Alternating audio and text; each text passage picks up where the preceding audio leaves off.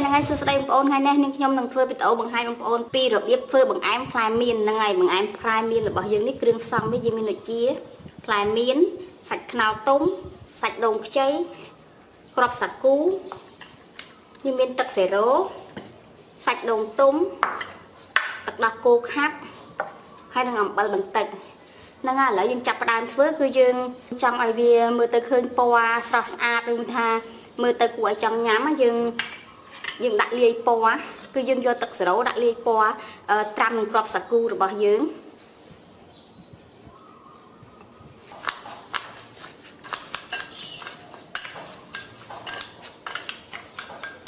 ហ្នឹងហើយយើងទុកឲ្យវាចូលពណ៌ប្រហែលជាកន្លះម៉ោងទៅ1ម៉ោងទៅគឺវាចូលពណ៌ហើយបងប្អូន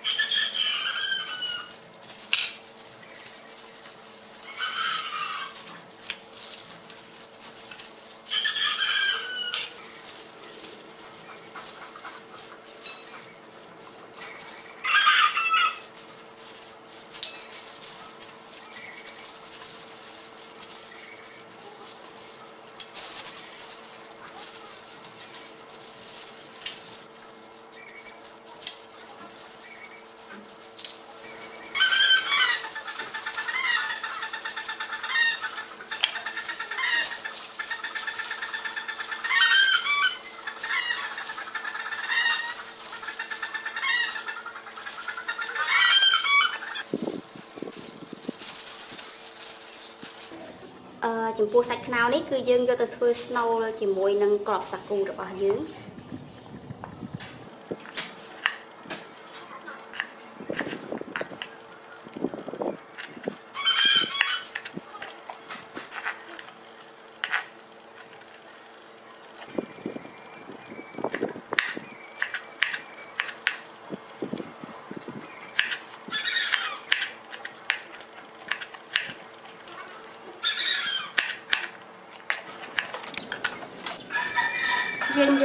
គ្រាប់សាគូរបស់យើងមកដាំជាដាំទៅដើម្បីកូរវាវាស្អិតដាំជាមួយនឹងទឹកឲ្យពុះ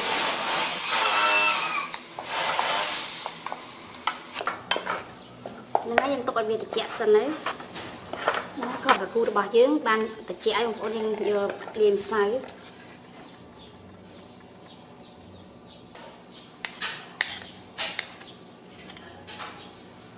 យើងលាយជាមួយម្សៅអង្ករដំណើបបន្តិចទៀតទៅដើម្បីឲ្យវាស្អិតកាន់តែខ្លាំង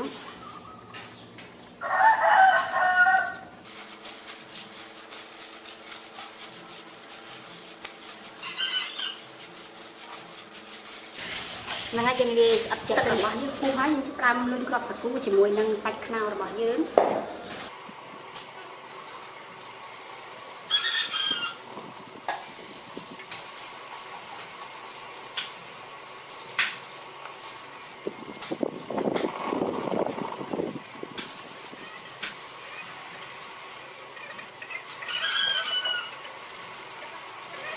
មើលទៅវាវាឆ្កាត់ដែរបងប្អូន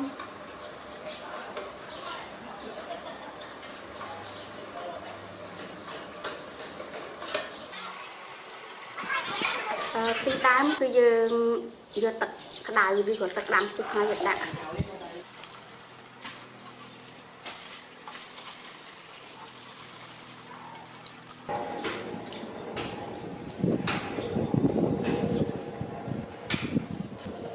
នឹងហើយទីដើមរបស់យើងមានទុកប៉ុណ្នេះបានមកច្រើនពេកទៀត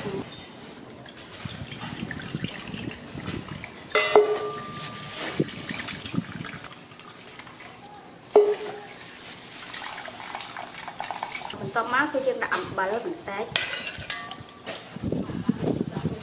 ហើយយើងដាក់ទឹកដោះគោខាប់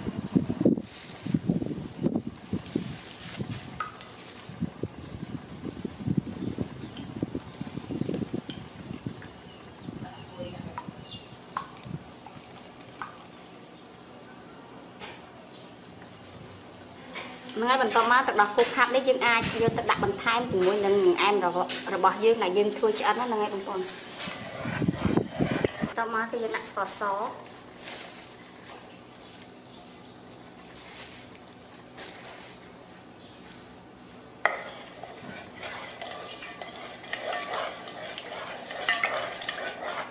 ហ្នឹងហើយបន្ទាប់មកគឺយើងយកទៅដាំឲ្យពុះសិនសិមយើងដាក់អឺនំរបស់យើងចូលតាមក្រោយ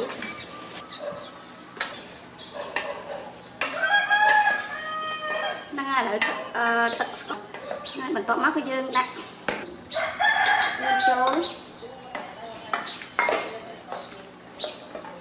យើងដាក់សាច់ខ្នោ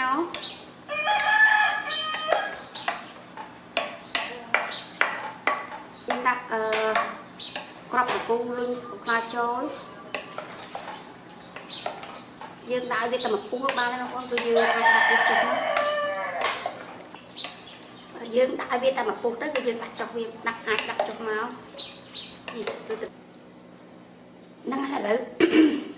ហ្នឹងហើយឥឡូវបង្អែមរបស់យើងបានពុះហើយយើងដាក់សាច់កូនខ្ចី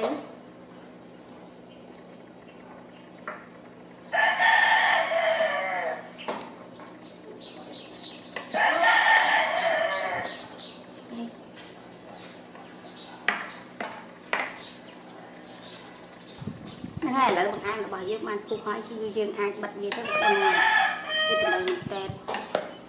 យើងបិទវាទៅ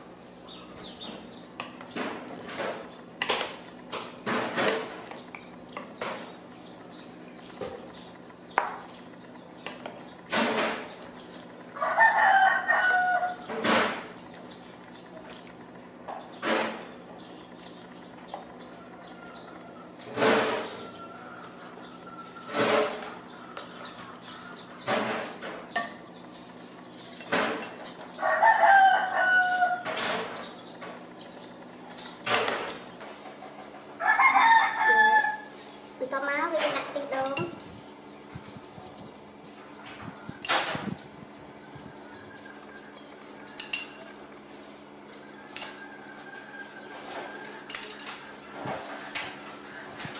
នេះគឺក្រោកមែនតើ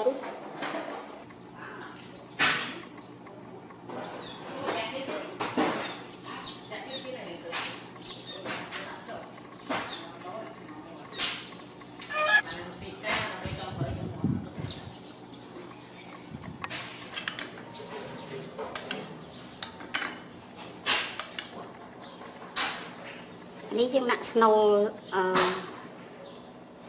ខ្នោអឺខ្នោខាងក្នុង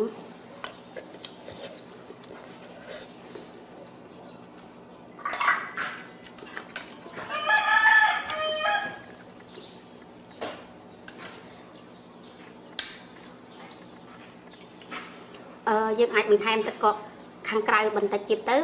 បើបងប្អូនចូលចិត្ត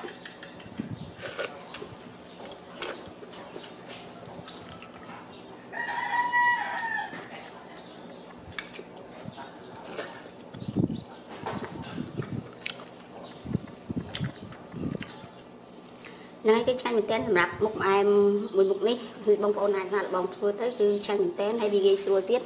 ហ្នឹងហើយអរគុណច្រើនសម្រាប់ការទស្សនាវីដេអូរបស់នេះខ្ញុំជូនពរបងប្អូនសុខភាពល្អបាយបាយ